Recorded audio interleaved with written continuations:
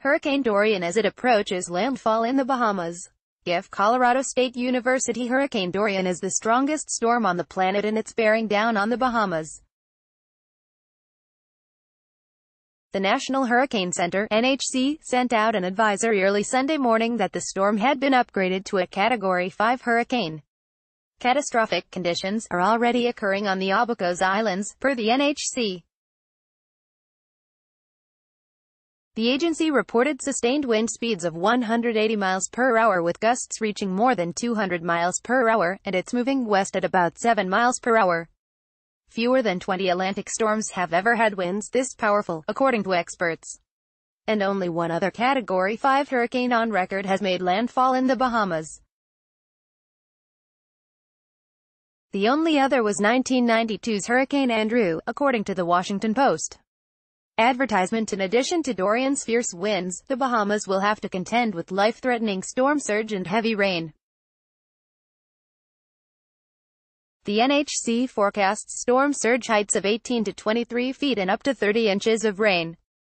For comparison, the last year's Hurricane Michael brought upwards of 20 feet surging into the Florida Panhandle, which coupled with Category 4 winds, absolutely devastated the region's infrastructure and left many residents homeless. How to stream Hurricane Dorian News Hurricane Dorian strengthened to a Category 4 storm Saturday evening as it continues its approach. Read more read advertisement beyond the Bahamas. Florida's east coast currently has a hurricane watch in effect for areas north of Deerfield Beach to the Volusia-Brevard County line. Experts predict the storm will hit the hurricane watch area around late Monday or early Tuesday.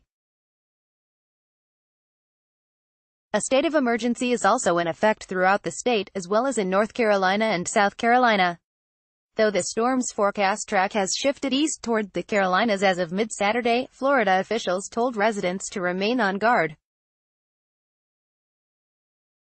As of Sunday morning, Florida Governor Ron DeSantis issued mandatory evacuation orders for Palm Beach County and Martin County for residents living in Zones A and B, the lowest lying areas. Evacuation orders are generally issued when the threat of storm surge could overtake areas more so than winds alone, underscoring that even if Dorian doesn't make official landfall in Florida, impacts are still likely and could be extremely dangerous. Advertisement If you're looking to livestream news of the storm as it approaches, check out our guide here.